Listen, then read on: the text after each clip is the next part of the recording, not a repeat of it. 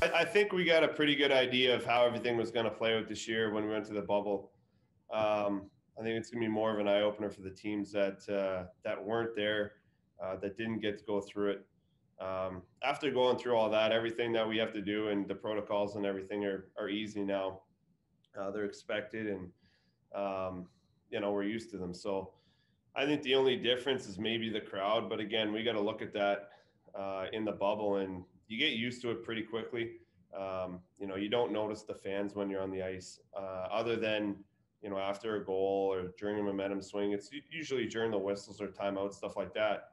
Um, so once you get out there and you're playing and you're in the mix, I mean, your your, your competitive nature comes out and you your that level gets up, and um, you know we're all in the game. So uh, the game, I guess, on the ice is the same. It's more just you know after a big goal, stuff like that. Um, you know, the, where you expect the crowd to kind of take over and change the momentum um, is not necessarily there. So I guess other than you know the, being the first game and that excitement of the crowd and everything, you know it's it's another hockey game and we're all professionals. We should be able to get ourselves up and, and prepare for a game, and that's what we expect in our room.